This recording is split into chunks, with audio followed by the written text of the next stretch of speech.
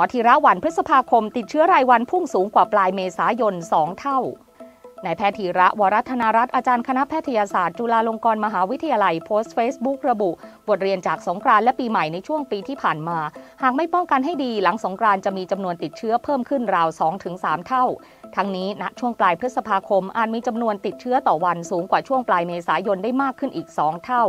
เห็นข่าวการกินดื่มตอนกลางคืนตามร้านอาหารในถนนข้าวสาร มีการจำหน่ายปืนฉีดน้ำให้นักท่องเที่ยว อาจต้องช่วยกันเตือนให้ระมัดระวังให้ดี ทั้งการไม่ใส่หน้ากากการกินดื่มร่วมกัน รวมทั้งการเล่นน้ำซึ่งมีโอกาสแพร่เชื้อติดเชื้อได้ง่าย และจะกระทบต่อการทำงาน หรือการประกอบกิจการของร้านค้าต่างๆ ได้